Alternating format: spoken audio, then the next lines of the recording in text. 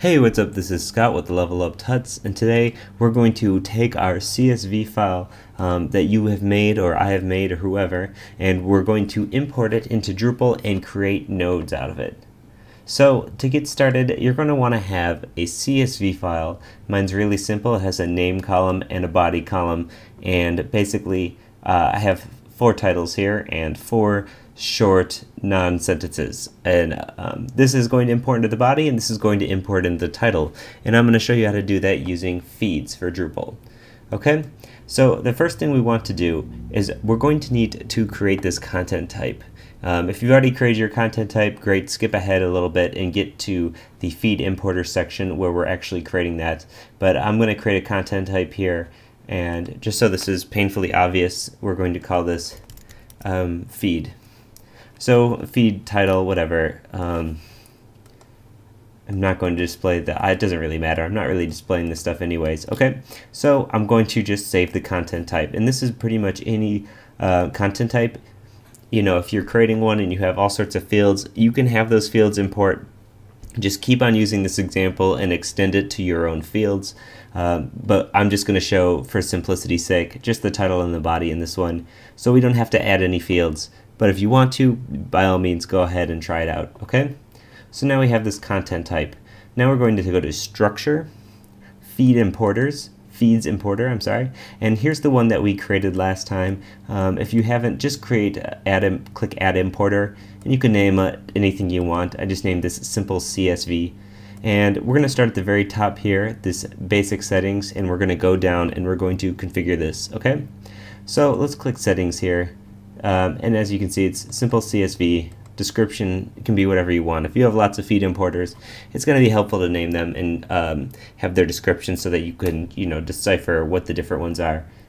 So we're going to be using a standalone content form for this. I'm going to click import and it's going to import. And we're not going to have this periodically import and it's going to import on submission. Click save. Okay, now let's go to change.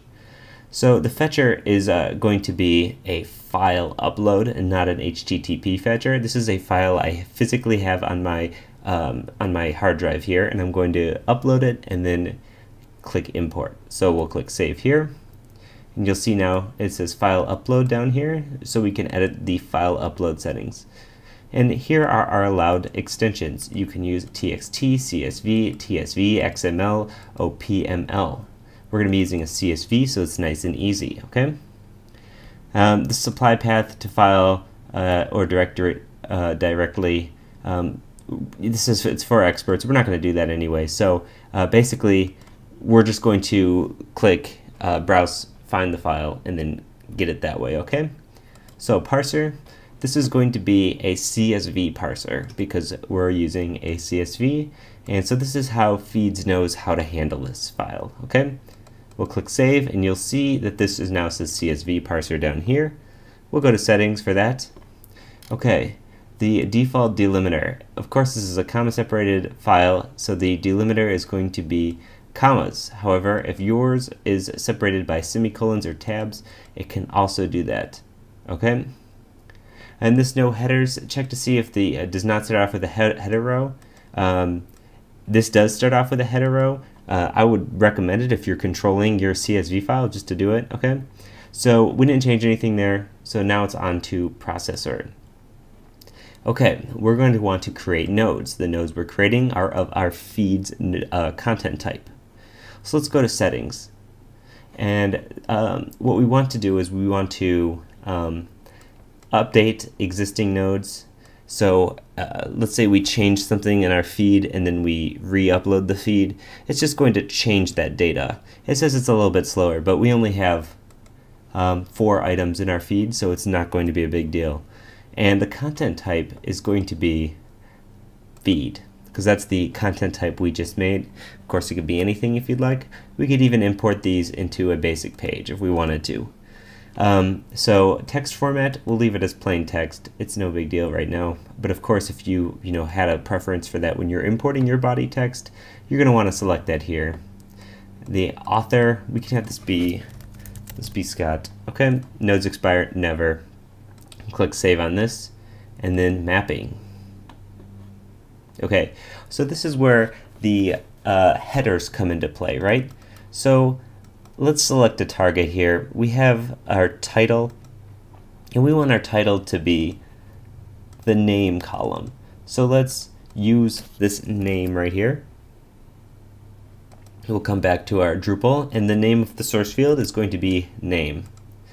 And the target is title, so now these names are going to get imported into title. Okay, and now we're going to select body. And if you look on your spreadsheet, it's whatever it is. On ours, it's body, so it's nice and easy. Of course, it could be anything you wanted.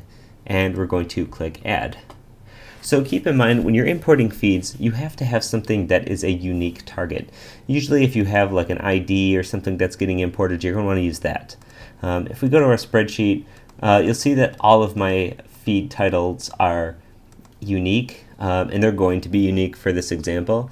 Um, so we're just going to say that the title is unique. However, you're going to want to make sure that whatever you're clicking here is, uh, in fact, and always going to be unique. Okay, so now let's click Save. If we see this legend, um, this just like sort of tells you what each of these targets are. Of course, you can probably figure them out by what they're called, but if you need help, this is what they are. Um, okay, so now we have our feed is all ready to go. It knows where to look for each of these um, targets and it knows what to do. So now's the fun part. Now we get to import the feed. If you remember in the last video, I said that our feed importer would be available at our domain slash import. Okay, and here I'll list all of the different feed importers you have. Um, uh, sorry, this is a little small here. Um, this says simple CSV, so this is our feed that we created. Click that, and um, so, okay, this is going to be easier to read with your theme. I should probably just put this on uh, back on Garland or whatever for a second, or Bartik, I guess. Um, so, import CSV files with one or more of these columns, name and body. Okay, the column name is mandatory and, uh, and considered unique, which it is. And our file is going to be delimited by commas. And again, you can check if there's no headers in your particular file here, but we have headers. So um, if you had a Google spreadsheet, you can just click File, um, download as CSV. Okay. Um, if not, you have any other sort of CSV, just export it as you choose. Um, make sure it's saved as a CSV. So I'm going to click Choose File right here.